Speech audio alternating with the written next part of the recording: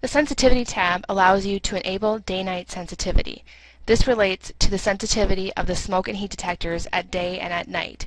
Oftentimes, in a specification, they will ask for the day sensitivity to be less than the night sensitivity for the detectors. So this is where you will enable that by checking the box. And then you will set up your night schedule. When does night start, or when do people leave the building? And then when do people enter the building, or when does night end? And that would be your end time. Normally occupied, normally buildings are occupied Monday through Friday, Saturday and Sunday being a day when they are not occupied. So they would be nighttime all the time. You can also set up a holiday schedule where you can add holidays and it is set up by month and then day. Uh, and these would behave as a weekend or nighttime all the time as well for sensitivity.